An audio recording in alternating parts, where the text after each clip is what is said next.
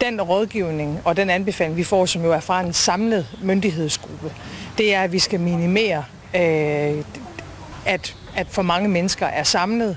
Bemærk retorikken. Hun siger først noget og gentager nøjagtigt det samme. Men lige inden siger hun, så man kan sige. Så man kan sige, at den rådgivning, vi får fra myndighederne, det er, at vi skal minimere, øh, at mange mennesker er samlet på et sted. De Hør nu godt efter. Specielt ordet principielt.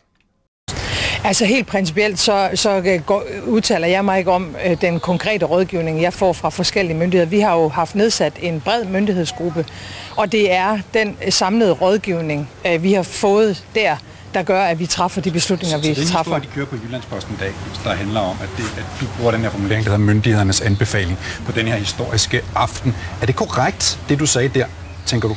Altså den øh, rådgivning, vi får, det er, at vi skal minimere øh, unødvendig aktivitet, samfundsaktivitet. Et spørgsmål, der kan besvares med ja eller nej. Du lukker Mange- Danmark ned på myndighedernes anbefaling. Politikere har lært aldrig at svare ja eller nej.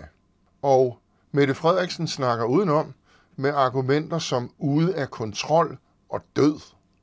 Jeg lukker øh, Danmark ned, fordi vi står øh, på et sted, hvor smitten er ved at komme ud af kontrol, og hvor vi risikerer, at rigtig mange mennesker vil komme til at dø. At rigtig mange mennesker vil komme til at dø, dette har vist sig at være løgn. myndighed det var, der anbefalede regeringen, at, øh, for det er jo normalt en anbefaling, der kommer fra sundhedsmyndigheden.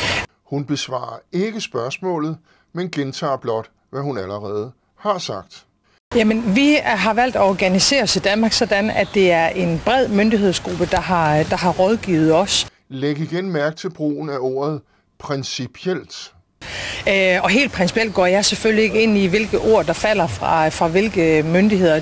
Helt principielt går jeg selvfølgelig ikke ind i, hvilke ord, der falder fra hvilke myndigheder. Og vi tager den lige en gang til, for at være helt sikker. Øh, og helt principielt går jeg selvfølgelig ikke ind i, hvilke ord, der falder fra, fra hvilke myndigheder. Hvilke principper hentyder Mette Frederiksen til, der ifølge hende retfærdiggør, at noget skal holdes hemmeligt? Hvilke hemmeligheder var begrundelser for at lukke Danmark ned?